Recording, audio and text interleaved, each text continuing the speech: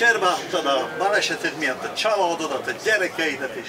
Rendkívüli élettörténetek, tartalmas beszélgetések, előadások, kreatív foglalkozások, csak néhány a Szélrózsa evangélikus ifjúsági találkozó programpalettájáról.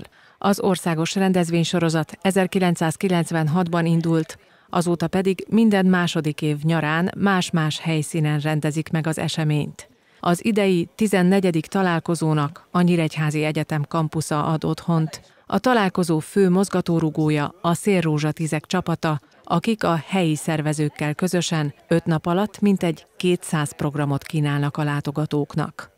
Ez egy nagyon sokszínű találkozó, mert ifjúsági találkozó ez a nevében is benne van, és ezt nagyon fontosnak tartjuk, úgyhogy a fő célcsoport a középiskolai korosztály, de emellett családokat és idősebbeket is várunk, így tényleg nagyon sok generáció megtalálható találkozón, azok is, akik 96-ban elkezdték, most már akár az unokáikkal vannak itt, és ez egy nagy öröm számunkra, szóval egészen az ovisoktól az idősebb korosztályig fókuszban a középiskolásokkal, és mindenféle program, előadások, áhítatok, istentiszteletek, workshopok, kreatív dolgok, éppen amit szeretne sport, és hát a koncertek. Mi csak egy fesztiválon vagyunk, egy találkozón, egy nagyon sok keresztény zenekarnak koncertje van, este pedig egy nagy zenekarral, világi zenekarral bulizhatunk együtt a fiatalokkal.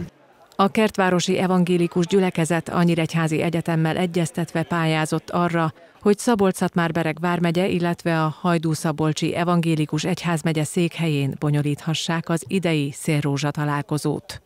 Maga a helyszín adja azt, hogy, hogy egy ilyen fesztiválnak a párhuzamos programoknak a kavalkádja van, ami egyrészt a én is egy programsátornak vagyok a felelős, ez azt jelenti, hogy 40-50 konkurenciás programmal kell megküzdenünk, de ez a mi oldalunk, a fesztiválra jövőknek meg az a nagyszerű lehetőség, hogy, hogy 200 program közül választhat és ezt úgy oldottuk meg, hogy van egy mobil applikáció, és akkor azon keresztül mindenki megtalálhatja, kiválaszthatja a saját programját. Tehát ez, ez nekünk egy kihívás, hogy tudjunk minél több fesztiválozót elérni, a fesztiválozó meg eldönti szabadon, hogy melyik programra tud menni.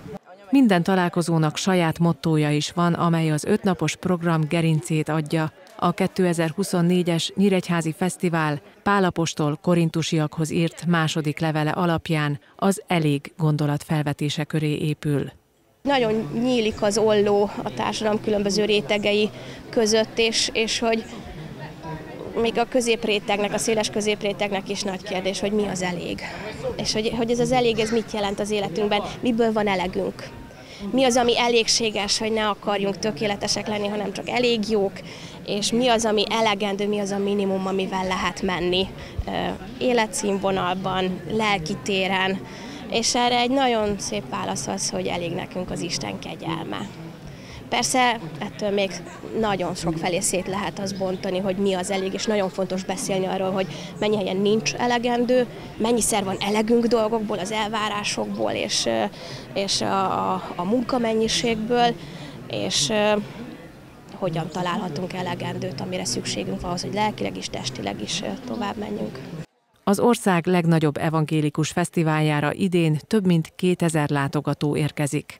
A résztvevők hitük megélése mellett az értékteremtő, szórakoztató és ismeretterjesztő programokon túl a hazai koncertélet legnevesebb képviselőivel is találkozhatnak. Az ötnapos keresztény rendezvénysorozat vasárnapig tart.